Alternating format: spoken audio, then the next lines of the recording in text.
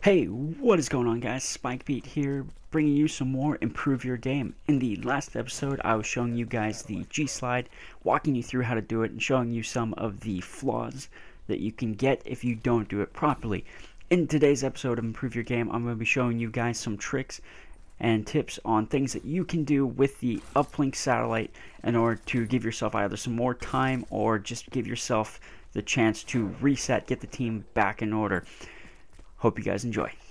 The very first thing, as you can see me doing it here on the map Fringe, is pretty much on top of any building on any map, you can go ahead and you can throw the satellite up on top of them.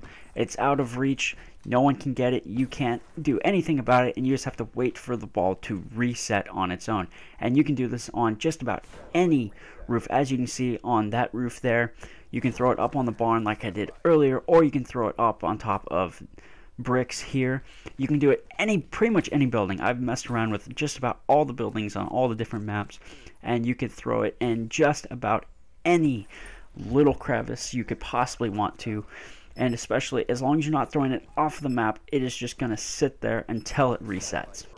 Here on Combine, as you can see, you can throw it up on top of these rocks, and it stays up there until it has to reset. It's a pretty good spot there because that goes along that entire side of the map. All of these buildings work. I threw it up on top of all of them. I'm only going to do it once here in the video, but you can see it if you go around, mess around. All the buildings work. Here in a minute, I'm going to be running back over once this thing resets. I'm going to be running over, and you can throw it up on top of the little wall run spot over there. You're going to see me do that here in the video.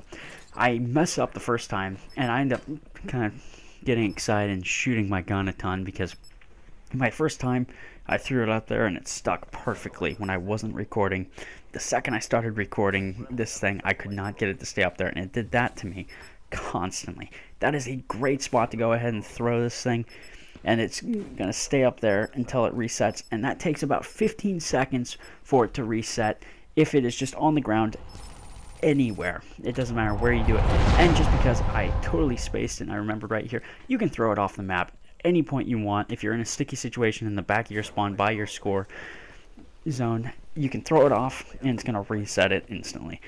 If you can, though, try to throw it up on buildings like this here. If you get it up there, stick it up there. It's going to take 15 seconds in order for them to be able to grab it. Again, gives you a chance to get your team repositioned back up to maybe do a little bit of slang, stall the game, whatever you want, but 15 seconds is all you have, and that is only if the ball is idly down. If the ball is in a player's hand, it can be up or away from the pickup zone for an unlimited amount of time, or at least it will not reset in the amount of time you have in a half of uplink. So, to close up here, if you take and you throw the satellite up on top of a building, on the rocks, or in any trees, anywhere to where it is just outside of the playable zone, but doesn't reset, it is going to stay up there for 15 seconds. The ball will stay anywhere where it is not being touched by a player for 15 seconds before it is reset to the starting point. Also, if you need to, just take the ball and throw it off of the map, and it will reset instantly, get it away from wherever you're stuck at. I hope that you guys found this video helpful. If you did, don't forget to like the video, comment down below for any future videos, and subscribe for more. Thanks for watching, guys.